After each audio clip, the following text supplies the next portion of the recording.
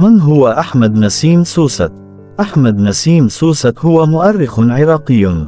ولد في مدينة الحلة بالعراق عام 1897 ودرس بالجامعة الأمريكية في بيروت ثم في جامعة جونز هوبكنز في الولايات المتحدة الأمريكية حيث حصل على درجة الدكتوراه في التاريخ عام 1930 عمل سوسة أستاذا للتاريخ في جامعة بغداد وشغل مناصب إدارية عديدة في وزارة التربية والتعليم العراقية.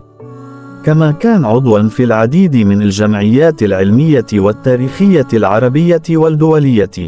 نشر سوسة العديد من المؤلفات التاريخية من أهمها تاريخ العراق القديم 1948 تاريخ بغداد 1951 تاريخ العرب في عصر النهضة 1960 فيضانات بغداد في التاريخ 1963 العرب واليهودية في التاريخ 1967 تاريخ العراق الحديث 1976 يعد سوست من أبرز المؤرخين العراقيين في القرن العشرين.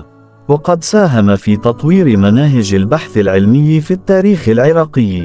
كما كان له دور كبير في نشر الوعي التاريخي في العراق والعالم العربي.